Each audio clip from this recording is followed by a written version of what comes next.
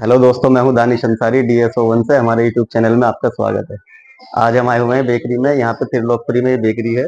यहाँ पे बनता है ब्रेड बन पाओ इसके बारे में आज आपको सारी इन्फॉर्मेशन देंगे, सारी जानकारी बताएँगे क्या क्या कैसे इसमें मशीन में ये चीज़ें बनती है। सबसे पहले दोस्तों हम बताएँगे, ये बयालीस ट्रे का रोटरी रैक ओवन है इसमें पर डे कैपेसिटी जो होती है, वो दो से ढाई कुंटल पर डे की कैपेसिटी होती है माल की। इसमें हम बेकरी की क्या क्या आइटम बेक कर सकते हैं? बेकरी की इसमें हम सभी आइटम बेक कर सकते हैं, जैसे ब्रेड बन पाव, पेटीज कुलचे, पिज़्ज़ा बेस रस, टोस्ट, खारी, बटर, जितनी भी बेकरी की आइटम है वो सब इसी में बेक होती है। इसके साथ में जो लगता है वो स्पाइरल मिक्सर लगता है डो मिक्सर बोलते हैं जिसको ब्रेड के लिए, और कुकीज के लिए लगता है प्लांट्री मिक्सर और ब्रेड कटिंग के लिए लगता है ब्रेड स्लाइसर इसमें जैसे यहाँ पे बनता है अभी, मैं दिखा देता हूँ आपको ट्रे ये बर्गर वाली ट्रे है ये। बर्गर के रिंग होते हैं ये, चार इंची का रिंग है बर्गर का, और इसकी किनारे की हाइट होती है ढाई इंची ट्रे की। और ये होती है कुकीज वाली ट्रे ये एक इंची की ट्रे होती है, इसमें आप पिज्जा बेक कर सकते हैं। कुकीज के लिए, रस की सुखाई के लिए ये वाली ट्रे लगती है। इस ट्रे का साइज़ होता है तेरह बाई अट्ठारह इंच जो हमारी ओवन का ट्रे का साइज़ होता है, वो तेरह बाई अट्ठारह इंच होता है। इसमें वन टाइम में बयालीस ट्रे एक इंची किनार की आती है। और ये वाली आती है बत्तीस ट्रे ढाई इंची वाली, जो मैंने अभी आपको दिखाई थी बर्गर वाली।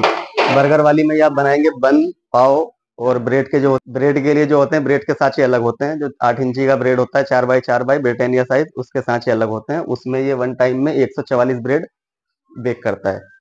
वहीं बात करेंगे अगर पाव की तो पाव में बत्तीस ट्रे आती है, क्योंकि इसकी रस की आती है बयालीस ट्रे वन टाइम में बेक होने में। ये डीजल का रोटरी रेक ओवन होता है।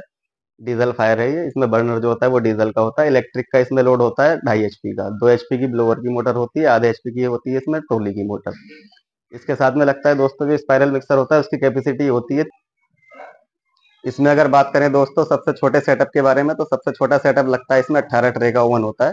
18 ट्रे के ओवन के साथ में आप 20 किलो का स्पाइरल मिक्सर रखते हैं और प्लांट्री मिक्सर अगर आपको रखना है तो उसमें 30 लीटर का प्लांट्री मिक्सर रख सकते हैं। उसके ऊपर आता है फिर 24 ट्रे 36 ट्रे जैसे ये बयालीस ट्रे का है। बयालीस ट्रे के बाद आता है बहत्तर ट्रे का ओवन फिर चौरासी ट्रे का ओवन आता है, फिर एक सौ बीस ट्रे का, एक सौ बत्तीस ट्रे का। अगर आपको पर डे एक टन का कैपेसिटी का काम है, एक टन का काम आपको करना है पर डे में तो आप उसमें ये ओवन एक सौ बत्तीस ट्रे का रखेंगे और आप स्पाइरल मिक्सर रखेंगे, उसमें सौ के का कम से कम।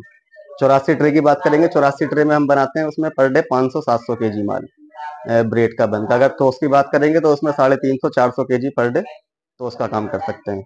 अगर आपको शुरुआत के हिसाब से सेटअप डालना है, बेकरी नई बेकरी स्टार्ट करना चाह रहे हैं शुरू में तो आप उसमें अट्ठारह ट्रे का ओवन लगाएँ, रोटरी ओवन, या चौबीस ट्रे का लगाएँ, अगर आपको काउंटर सेल पे अपना काम।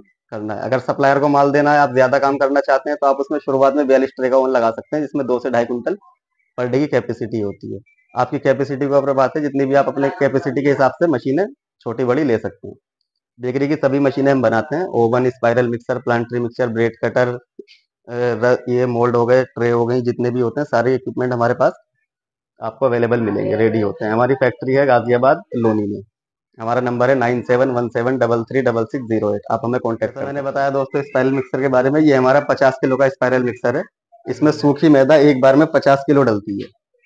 पानी अलग होता है जो उसमें डलते हैं रॉ मटेरियल वो अलग होता है। जैसे ईस्ट डलती है खमीरे में चीनी है नमक है वो सब चीज़ें अलग होती हैं। इसमें सूखी मैदा वन टाइम में पचास के जी एक बारी में आएगा। टोटल कैपेसिटी इसकी हो जाती है डो की वो हो जाती है अस्सी के जी वन टाइम में एक बार में मिक्स करता है अस्सी के जी टोटल मिला के और सूखी मैदा होती है इसमें पचास के जी। इसमें हम ये ऑटोमेटिक हमारा होता है स्लो फास्ट दो स्पीड पे ये चलता है। स्लो पे आप चला सकते हैं। जितना आप टाइम सेट करेंगे इसमें स्लो पे चलेगा और उसके बाद ये फास्ट पे ऑटोमेटिक आ जाएगा। ये थ्री फेस का होता है। सिंगल फेस में एक ही स्पीड होती है सिंगल स्पीड थ्री फेस में अगर लेंगे आप तो थ्री फेस में ये होती है डबल स्पीड का। इसमें हमारा ये टाची होती है इसकी। ये भी हम स्टील की 304 की लगाते हैं 304 की मेटल की। बाकी आपने और जगह देखा होगा, वो लोहे का होता है। उसमें क्रूम कर देते हैं ये। ये भी हमारा पट्टा होता है बीच में पार्टीशन का, ये हम लगाते हैं इसमें स्टील का 304 का। बाउल भी हमारा 304 का होता है। इसकी बॉडी जो हम बनाते हैं एमएस की होती है बॉडी में हमारी शीट का नहीं होता, ऐसा नहीं कि शीट लगा दी और इसमें हमने सपोर्ट के लिए चैनल या एंगल लगा दिया। हमारा प्लेट का बना होता है पाँच एम प्लेट का। पूरी बॉडी इसकी पाँच एम प्लेट की होती है। सारे फ़ंक्शन इसके पैनल होता है ऑटोमेटिक सारे फ़ंक्शन होते हैं।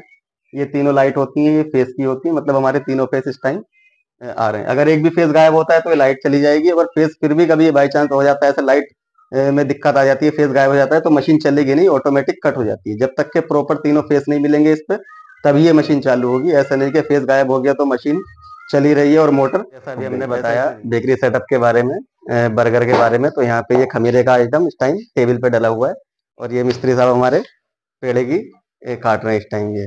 तो मिस्त्री साहब आपका नाम क्या है? सुशील भाई हैं हमारे साथ में। ये बेकरी के शेफ हैं कारीगर हैं। तो ये बर्गर में कितने ग्राम का पेड़ा कटता है? अस्सी ग्राम। अस्सी ग्राम का ये एक पेड़ा होता है और एक ट्रे में ये कितने लगते हैं तेरह बाई अट्ठारह की ट्रे में? कितने। चार पैकेट आते हैं ये। इसमें बर्गर कितने आएँगे? बारह।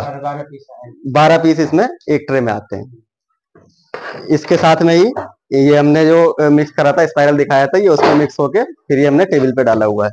इसमें हम तकरीबन पर डे में जो बनाते हैं वो दो से ढाई कुंटल की हमने कैपेसिटी बताई थी।